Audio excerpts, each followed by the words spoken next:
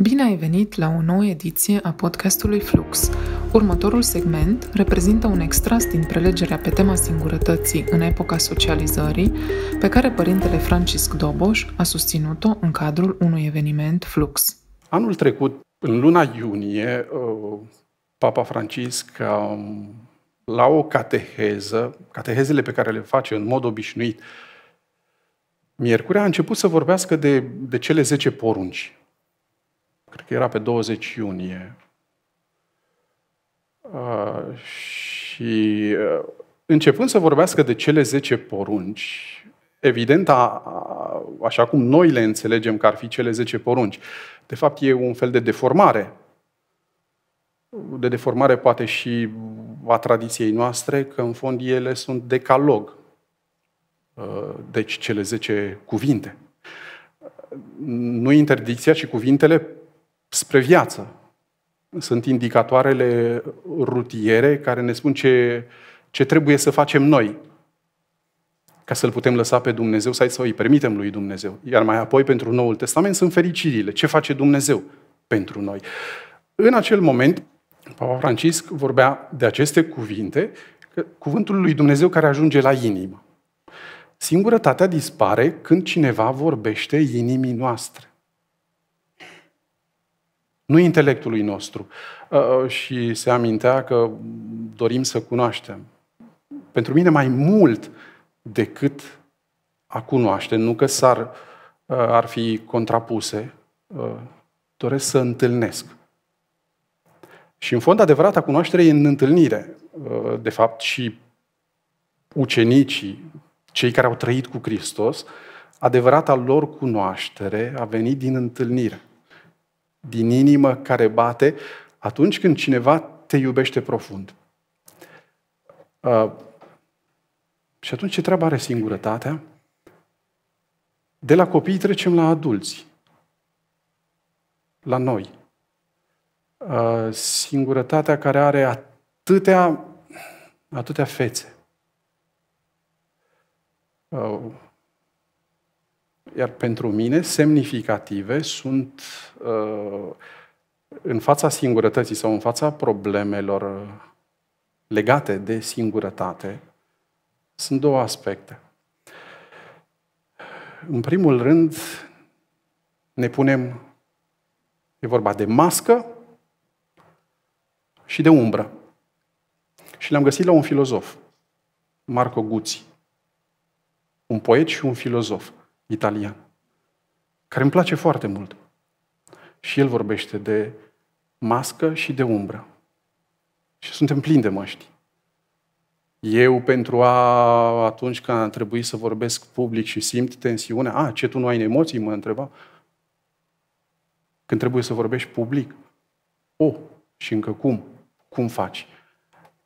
E, încerc o oarecare, adică să suntem plini de măști. Dar mă refer la acele măști ale noastre care, uh, când folosesc acest termen pe care l-am regăsit la Marco Guzzi, uh, e vorba de, uh, de masca ca sistem de apărare. Atunci când noi folosim sisteme de apărare pentru noi, pentru viața noastră. Iar umbra, el o asociază cu ostilitatea.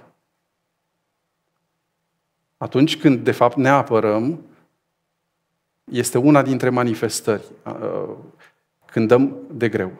Iar umbra este asociată cu ostilitatea atunci când nu doar ne apărăm, dar simțindu-ne atacați, contraatacăm. Toate sistemele noastre. Și în fond avem nevoie de, de o vindecare. Singurătatea, atunci când este, pentru că dubla, e, e ambivalentă, e, are multe, multe aspecte, dar este singurătate negativă și singurătate pozitivă. Cum poate fi, uh, cum poate fi învinsă singurătatea? Oare trebuie învinsă? Și aici mă gândesc, mulți dintre, mulți dintre noi mulți dintre cei care, sau unii, o trăiți profund. Dar cine nu o trăiește profund? Ipocrit aș fi să spun că nu am trăit și nu am simțit singurătate și că nu o voi mai simți. Dumnezeul meu, Dumnezeul meu, pentru ce m-ai părăsit? Ce este? Despre ce este vorba aici? Dacă pentru El a fost vorba de singurătate. Cu atât mai mult pentru noi. Pentru noi care, nereușind să ne dăruim, să riscăm, ne protejăm. Ne protejăm cu măști foarte elegante și chiar fiind aproape de persoane, chiar trăind în familie, chiar trăind cu o mulțime de prieteni, de fapt putem trăi o singurătate crâncenă. De ce să nu ai, așa cum ai spus Vlad, să nu ai persoana care să conteze pentru tine, în caz, pentru asigurare, care să poată fi contactată. Și suntem plini de, de, de prieteni, suntem plini de, uh, de oameni care ne înconjoară. Câți dintre ei și-ar da viața pentru noi? Sau noi pentru ei? Trăim în această, în această societate care ne oferă de toate. Toate distracțiile, toată tehnologia, toate... Uh, și când toată această, această distracție devine, devine uneori ca un narcotic, uh, ca un drog.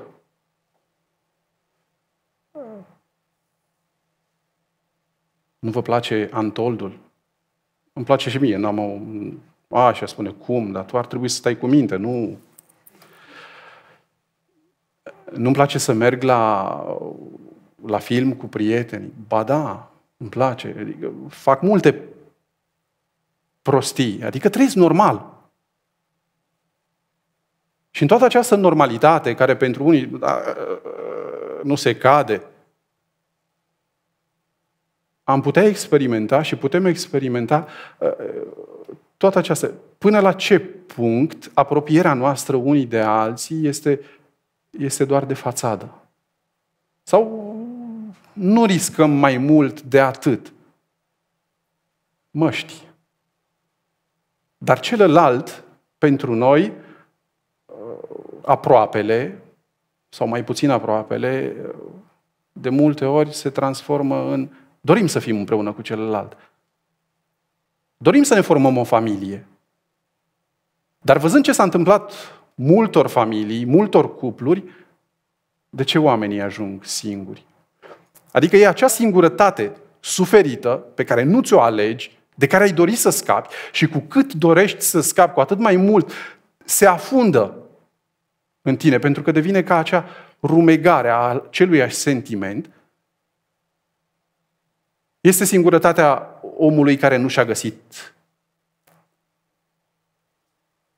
Femeia sau bărbatul, jumătatea în viață. Este singurătatea omului care l-a ales pe Dumnezeu. Dar nu mă refer la singurătatea pozitivă. Mă refer la acea singurătate negativă când l-ai ales pe Dumnezeu sau Dumnezeu te-a ales pe tine și nu, nu te mai bucuri de Dumnezeu. Este singurătatea cuplului. Atunci când din fluturii din stomac se transformă în lilieci.